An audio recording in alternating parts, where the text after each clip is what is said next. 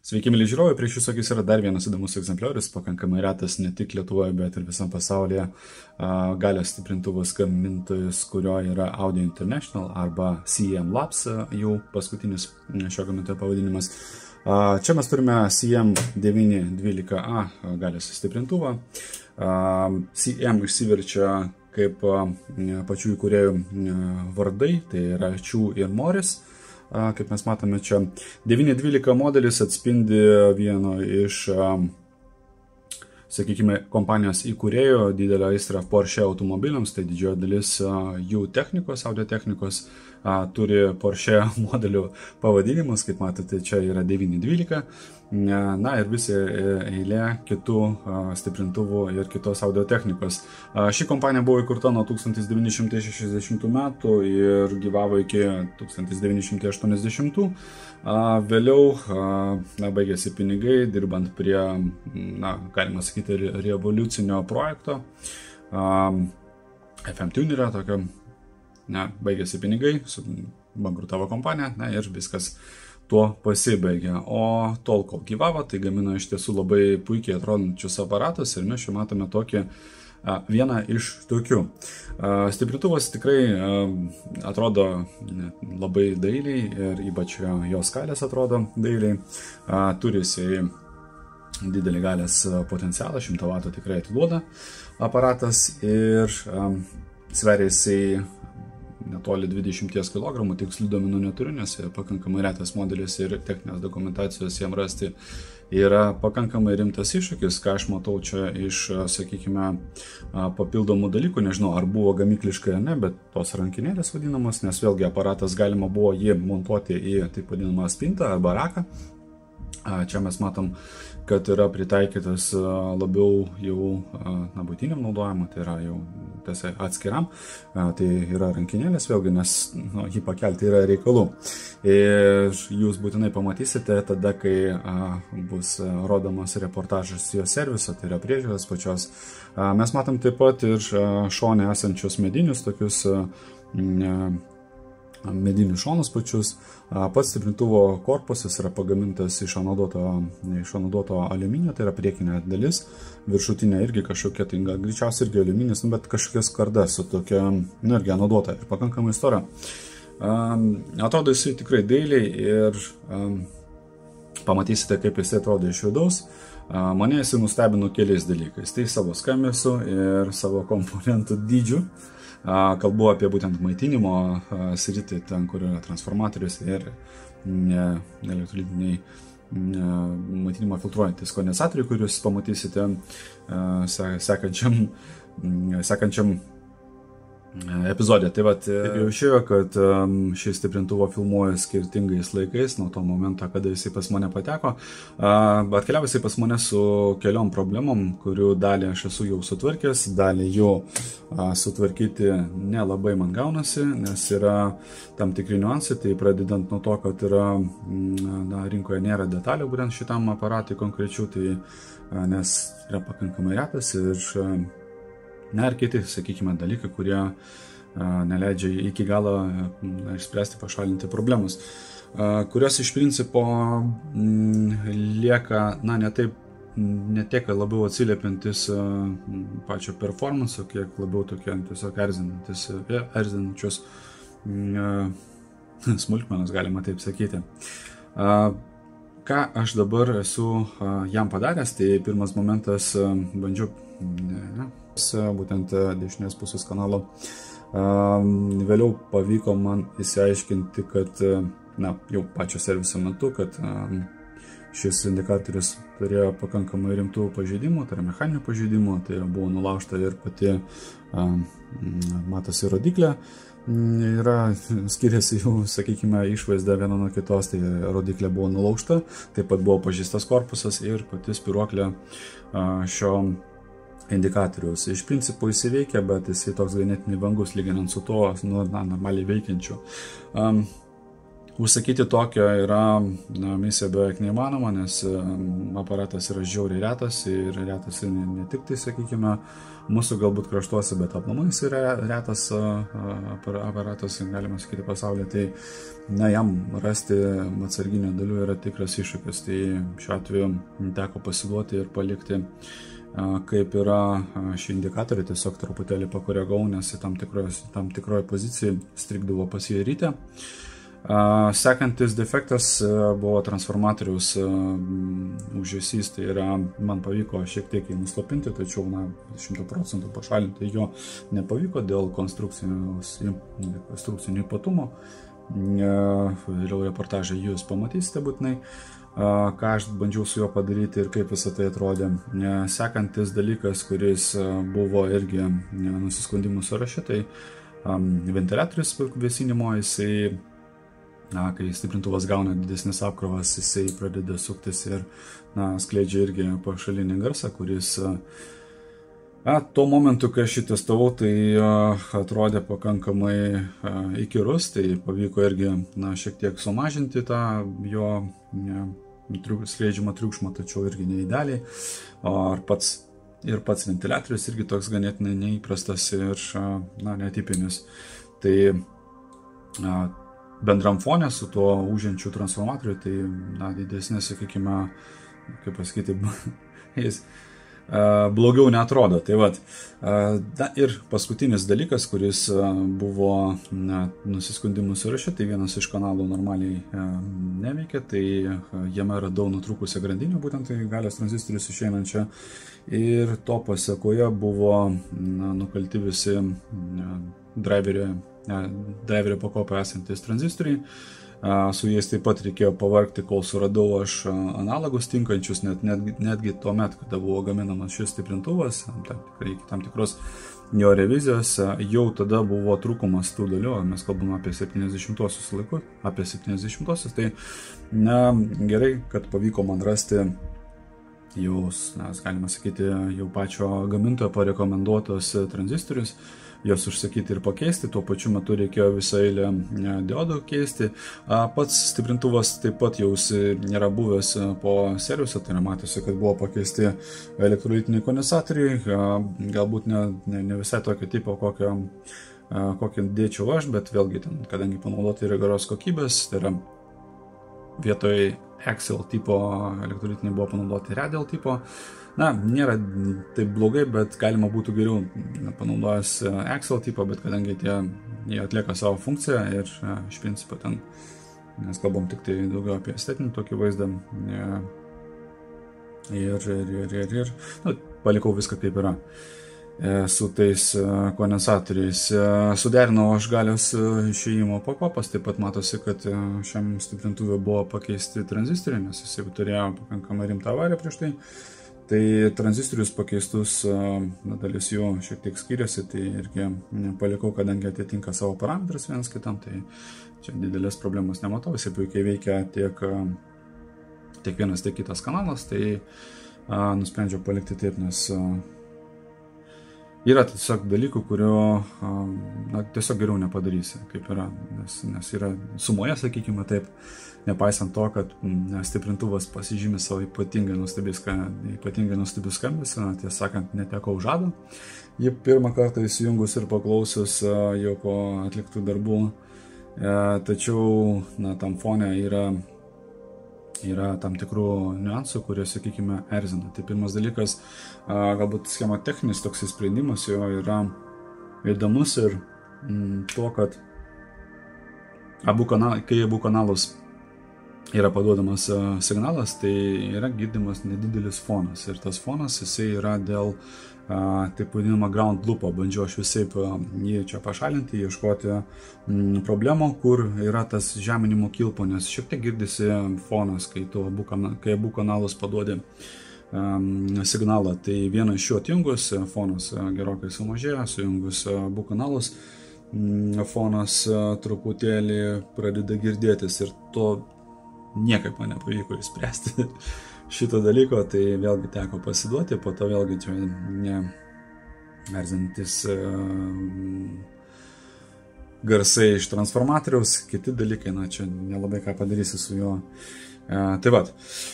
E, pažiūrėkime, kaip jisai atrodo iš vidaus, jo e, atliktų jame darbų video reportažą, pamatysite truputėlį iš arčiau viską. Na ir pabaigą atsuks, apsuksiu, parodysiu aš, kaip jisai atrodo iš galo. Čia mes turime du maitinimo filtruojančius kondensatorius, elektrolitinius kondensatorius pagamintus kompanijos General Electric, reitinguoti 24 tūkstančių mikrofaradų, 75 voltam, viskas aišku pagaminta yra Amerikai. Tai yra ko gero didžiausias bankas, kokias esu sutikęs audio technikoje skirtoje namų naudojimui, nes diametras vieno šito kondensatorius yra netoli 8 cm, įsivaizduokite, 8 cm, čia tikrai yra rimtas, rimtas storis, rimtas diametras, aukštas irgi atitinkamai per visą ranką ir mastelį palyginti galiu pridėti standartinį kavos puodelį, kuris iš tiesų yra, atrodo, visiškai mažutis, palyginus su šiais elektrolitiniais kondensatoriais. Ką visą tai duoda? Duoda nesveiką dinamiką. Tokie didžiuliai kondensatoriai tiek daug srovės atiduoda, kad čia, žinokit, jokių tokių palauk nėra. Čia darbo progreso, tai šiuo metu dirbu aš prie transformatorius, šitoks matosi didžiulis yra.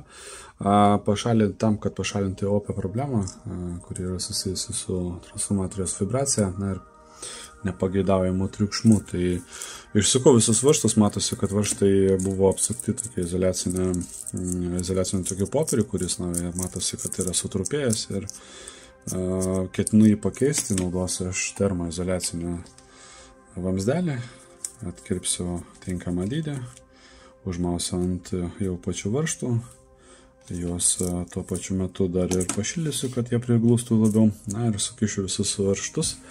Ir taip pat dėsiu tokius tarpinius.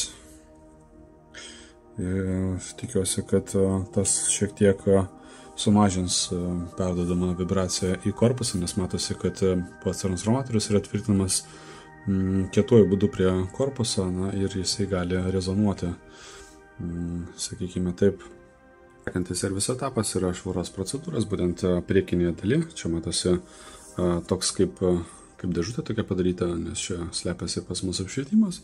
Matosi, biški patamsėjimai yra, apačioje čia yra toksai geltonas apnašas, čia greičiausiai nuo cigarečių dūmo su laiku prisikaupę yra. Ir na, čia slepiasi visą laidą ir panašiai. Tai a, mano tikslas dabar pilnai viską išvalyti, taip kad atrodytų tvarkingai, na, maksimaliai švariai kiek yra įmanoma, nes vėlgi šita dalis jinai smirda, jinai garuoja, tai nėra gerai, norisi, kad būtų tvarkingai viskas. Nes su pačiu transformatoriu matosi, kad jau pavyko jį pritvirtinti, taip pat mes turime tokius kaip ir tarpinės, kurios na, šiek tiek gesins tą jo vibraciją, taip smarkiai nepersiduos į korpusą, tai mes tikėkime, kad jo skleidžiamas garsas taip pat ir sumažės. Nu, na ir po to vėl žingsnis po žingsnio. Eisime prie kitų dalykų. Tai čia matosi, jau plokštė yra išvalyta. Viena dalis matosi, kad viskas yra blizga. Kiekvienas komponentas eis atskirai. Čia taip pat matosi, kad irgi laukia dar nemažai darbo, nes ten irgi yra prisikaupusio purvo. Jis net ten nužyvęs ir sukeitėjęs. Jo, yra reikalas. Tai čia dabar mes matome jau galutinį rezultatą. Matosi, kad skirtumas yra labai akivaizdus daugiau sakyti čia nėra ką. Nu, pabiškiu surinkinės jau šitą dalį ir galima bus jau prie šitos vietos nebegrįžti ir dirbsime jau su kitais komponentais, kitų komponentų revizija, valymas, surinkimas. Dar norėjau parodyti trumpai, kaip atrodo čia apšvietimo sprendimas, tai čia matosi, kad vietoj kaitrinių lemputė yra įsuktos jau LED lemputės tokias su a, įsukumu cokoliu. Va taip jos atrodo, visai fainiai šviečia pakankamai ryškiai, kažkokiu tai mirksėjimu ir panašiai nepastebėjau. Tai jo čia kaip tikra šitam stiprintuvui. Tai vat. Tai tik pasuksiu. Gal. Taip atrodo jis iš priekio. Kol kas dar be priekinės, be priekinio fasado. tik tai lemputės matosi, transformatorius, pajungimai. Ir va, tai tarpinių naudojamas transformatoriai iš tikrųjų naudos jokios praktiškai nedavė, gal sakyčiau netgi padarė blogiau truputėlį, nes tas vibracija dar smarkiau girdėjasi ir jautėsi, tai teko ardyti dar kartelį, nu pilnai jau visą korpusą nuiminėti, tuo pačiu metu dar ir skydus pačio transformatorius. Mm, ten vėlgi gamykliškai pastebėjau, kad buvo toksai kaip e, klinas įkaltas toks e, medinis, ten matosi per vidurį, pabandysiu pašviesti, jeigu man gausis čia. Tai va, bandom. O ten va, tai yra sitrai įkaltas. E, tai jisai, reiškia, leidžia įtempę tą visą rytę ir sumažina, sakykime, vibraciją pačių apvijų. Tai mm, jisai buvo kažkaip arčiau pačio krašto, ar arčiau paviršiaus. Tai teko jį pastumti truputėlį giliau, kad vėlgi labiau temptų. Na ir kitoje pusėje irgi čia tokias biškiai magai virškas reikalas plastikinės kortelės kelias bandau sukišti tarp apvijų. Mm, na, tai yra ryčių pačių ir magnetolaidžio, tam, kad vėlgi tempti ir būtų kuo mažiau, sakykime, laisvumo. Ir na, žiūrėsim, ar padės visas šitas reikalas. Formatoriaus sutvirtinimas ir um, tarpinių papildomų įdėjimas situacijos iš esmės nelabai pakeitė. Girdim, kad vis tiek burzga. Bet tą burzgazį galima numalšinti užspaudus, nes pats korpusas jisai skleidžia tą garsą, nes jisai kaip rūporas čia dirba. Tokiu principu, tai nusprendžiau įdėti papildomos izolacinės medžiagos tam, kad galima būtų kažkaip tai užgesinti jo vibravimą patį, na ir tuo pačiu metu sušvelninti tą jo skleidžiamą burzgesį. Stiprintuvas jau yra dalinai surinktas, po truputėlį judam su kitais komponentais, tai čia matosi, kad jau yra išvalytas plokštas, tai yra modeliai patys tikrintuvo, tranzistoriai ten yra atskira tema su jais, o čia taip atrodo dar nevalytas, tai pamėginsim mes pasišviesti taip, kad matytųsi gerai. Nu, taip atrodo, ten matosi, kad labai daug yra geltonų tokių apnašų, mm, drįstu spėti, kad čia yra dėl mm, to, kad patalpoje, kurioje stovėjo šitas stiprintuvas, buvo daug rūkmo ir yra nusėdusi tų tokių a, dervų. Tai čia taip jau yra, atrodo, jau išvalytas pilnai. Tai dar reikės truputėlį praeiti atverti pačius radiatorius, bet iš esmės viskas yra tvarkingai gražiai. Šitas dar bus tvarkomas. O čia pas mus yra jau Ok. Stiprintuvas jau yra dalinai surinktas, po truputėlį judam su kitais komponentais, tai čia matosi, kad jau yra išvalytas plokštas, tai yra modeliai patys stiprintuvo, tranzistoriai ten yra atskira tema su jais, o čia taip atrodo dar nevalytas, tai pamėginsim mes pasišviesti taip, kad matytųsi gerai. Nu, taip atrodo, ten. Matosi, kad labai daug yra geltonų tokių apnašų, Drįstu spėti, kad čia yra dėl to, kad patalpoje, kurioje stovėjo šitas stiprintuvas, buvo daug rūkmo ir yra nusėdusi tų tokių a, dervų. Tai čia taip jau yra, atrodo, jau išvalytas pilnai. Tai dar reikės truputėlį praeiti atverti pačius radiatorius, bet iš esmės viskas yra tvarkingai gražiai šitas dar bus tvarkomas. O čia pas mus yra jau ok. O taip pamažu, pamažu tirpsta jau tas dervas, kurias aš netrukus jau nušluostysiu, nes o, taip pat atrodo cigarečių dūmai ant aparato. Nu, stiprintuvo modulis jau po truputėlį gauna savo vaizdą. Matosi, kad daugiau jokių purvo čia nebeliko. Mm, čia kažkas, dar šiek tiek yra geltonumo, dar reikės truputėlį praeiti šitas vietas, bet fokusas buvo į šitą dalį, nes po to jau priesi prie šitos dalies jau detalesnio tokio valymo. nes reikės radiatorių pilnai išvalyti, taip kaip jau dariau dabar su šituo, dabar jau statysiu, montuosiu, taip pat perrinksiu visus tranzistorius, reikės pakeisti pastą ir sumontuoti juos su savo. Stiprintuvo surinkimo darbai artėja prie pabaigos, mes matom, kad jau rankinas grįžo į savo pozicijas, taip pat mediniai šonai matosi, kad yra grįžę, plokštės yra sudėtos irgi savo pozicijose. Planas yra toks, dabar tiesiog noriu uždėti atgal ir sutvirtinti korpusą apatinių dangčių. Prie apatinių dangčių taip pat bus pritvirtintas ir kuleris. Čia tiesa žiūri toks sunkus metalinis kuleris 115 volto kintamas srovės. Toks rimtas daikčiukas.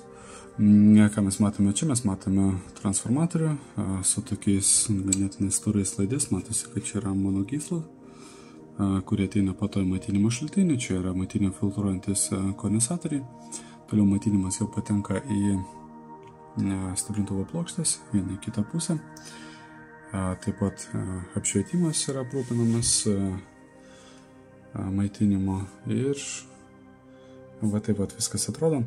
Dangtį uždėsiu, nes mums jisai tikrai nemaišys, jeigu norėsime išimti vieną arba kitą modelį stiprintuvą, nes jie išimami yra.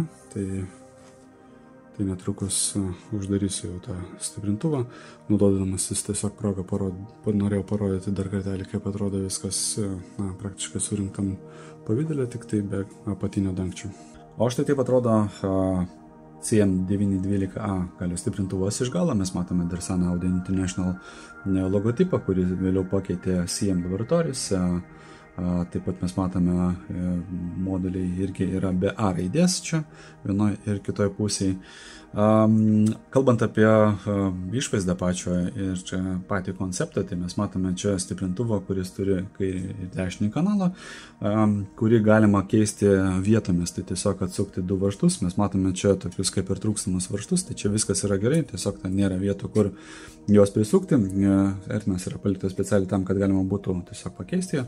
Pakankamai yra sumanus ir praktiškas sprendimas, ypač tuomet, kada įranga yra naudojama profesionaliam na, profesionaliai, profesionaliai, tai yra studijose ar, ar, ar kažkur tai kitur, kur, sakykime, na, nėra, nėra žodžio palauk ir jeigu kažkas sugedo, tai tiesiog galima išimti tą modelį, įstatyti naują ir toliau tęsti, sakykime, darbą su juo. Tai čia yra būtent toks konceptas ir sugalvotas. Mes matome tokias rankenas, kurias leidžia ištraukti pačius modelius. Pabandysiu aš dar atsukti, parodysiu jums, kaip tai atrodo. Atsakau, varštelis galima traukti patį moduliuką. Jisai va taip prastai išsitraukia. Mes matome jo patį modulį. O taip pat. Jisai atrodo. Keliauja tegul jisai į savo poziciją. Viskas, įsistatė ir liko tik tai užsukti du varžtus ir stiprintuvas yra paruoštas darbui. Iš principo čia daugiau nieko tokio neįprasto nėra, išskyrus taip vadinamas feedback speakerio konektorius, čia taip vadinami ir Jones konektoriai, pajungti specialiai naudojamus feedbacko garsiakalbius, tai čia taip, taip vadinamam servo motional feedbackui Tai yra galimybė, tai yra šis stiprintuvas turi, turi tokią galimybę, tai buvo naudojama kitų gamintojų akustinės sistemas, vėliau taip pat jau pats CM laboratorijos buvo sukūręs savo, tai, galima sakyti, garsiakalbius modelių CM15, kurios, kurių dizaineris buvo Lewisas Viertas. Tai ne, buvo naudojami, sakykime, feedbacko pajungimui. Mėly žiūrovai, ką tik su jumis turime puikią progą susipažinti su retai rinkoje pasitaikančiu galios stiprintuvu iš kompanijos Audio International arba CM Labs. CM912A.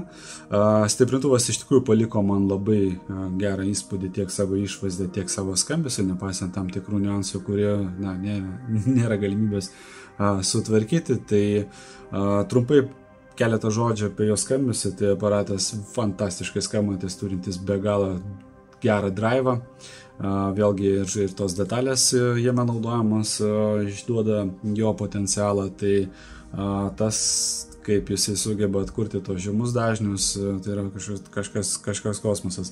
Aparatas tikrai labai šauniai skambantis yra ir įdomus, bet tuo pačiu metu uh, na, yra tam tikri niuansai, kurių tiesiog na, negali mėgautis jo mm, šio stiprintuvo darbo, norint paklausyti ramioje aplinkoje, sakykime, galbūt tyliai muzikos, nes jos skleidžiamas garsas, na, jisai tiesiog jisai pradės trukdyti ir kiek man teko domėtis skaityti, tai tie, kas turi šio modelio stiprintuvus, kitų irgi e, šio gamintojo stiprintuvo, tai na, yra dažnas atvejis, kai skundžiasi, jog e, yra ir transformatorius užėsys ir to pačiu ventiliatoriu. Na, mūsų situacija yra analogiškai, čia nelabai ką padarysi. E, tai tiek šiam kartui, ačiū, kad žiūrėjote, ačiū, kad e, sekate mano kanalą. Jeigu video jums patiko ir buvo įdomus, paspauskite laiką. E, kol kas sakau tiek, iki sekančio įdomus aparato žalgos, iki sekančio reportažo. Ate.